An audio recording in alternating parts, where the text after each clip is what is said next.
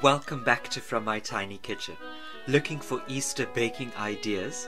Why not try out this really cute bunny bottom cake with a buttercream carrot surprise when cut open? For the picket fence, roll out white ready to roll icing to about 5 millimeters thick, then cut out 2 centimeter strips. For an 8 inch cake, you would need at least 12 of these. After neatening out the bottom of the strips, cut out an arrow shape on the top of them. Lay out these strips on a flat surface to dry. If you notice that the strips are not as straight, leave for a few hours, then recut the strips to get that perfectly straight line. For the carrot leaves, which actually look like blades of grass, roll out green ready to roll icing to about 5 millimeters thick and then cut out. Leave these to dry on an uneven surface to create a wavy effect.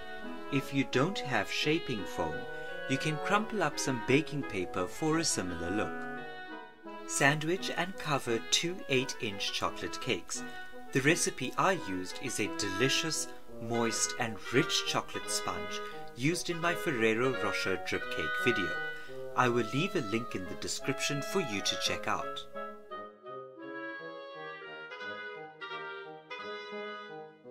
For the rails of the picket fence, cut out 2 cm strips of white ready to roll icing.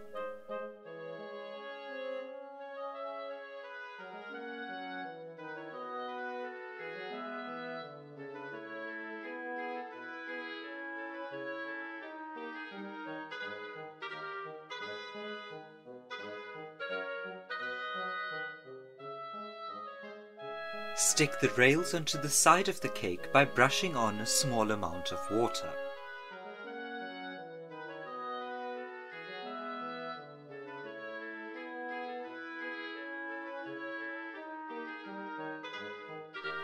And the same with the pickets.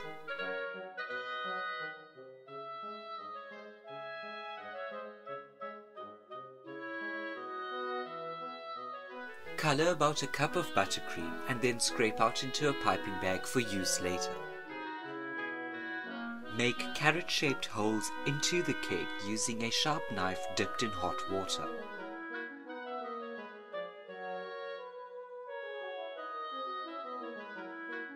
And then fill with the orange colored buttercream.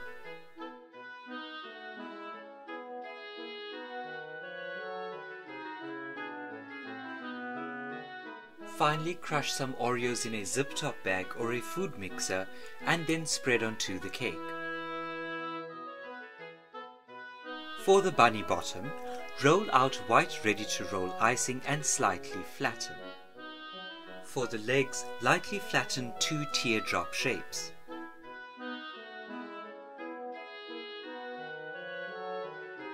Add on the paw details using a small pinch of pink ready to roll icing.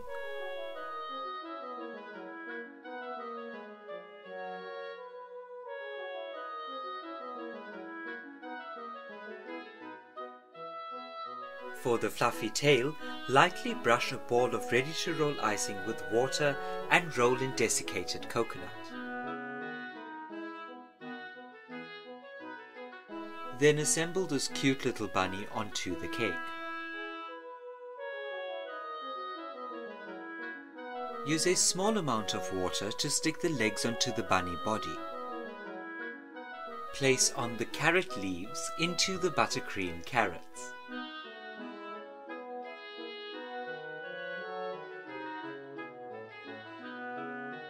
And then finish off this cake by piping green buttercream with a grass tip nozzle around the base of the cake.